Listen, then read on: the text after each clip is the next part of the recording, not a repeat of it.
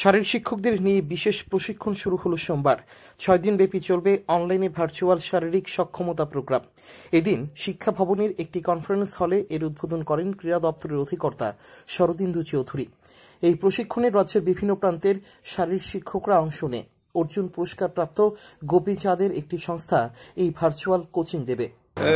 Actually আমরা physical literacy programme একটা E L M S sports foundation একটা চালু করেছেন। তারা একটা NGO non government organization without taking any fee কোনো ফি ছাড়াই তারা চাইছেন যারা দীর্ঘদিন এই কাজের সঙ্গে যুক্ত, কিন্তু বিভিন্ন এখন প্যান্ডামিক সিচুয়েশনের জন্য তারা কাজ করতে পারছেন না।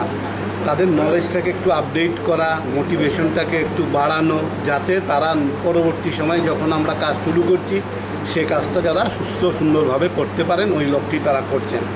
আমার মনে হয়েছে এখন আজকে থেকে শুরু হয়েছে আগামী চার দিন আরও চলবে। তারা যেসব টপিক দিয়েছে সেগুলো আমাদের যারা ফিজিওলজিশন টিচার আছেন তাদের হেল্পফুল হবে। করোনা অতিমারির কারণে এই ধরনের কর্মসূচি নেওয়া হয়েছে যাতে আগামী দিনে শারীর শিক্ষকরা এর সুযোগ কাজে লাগাতে পারেন। রিপোর্ট চ্যানেল তিন রাত।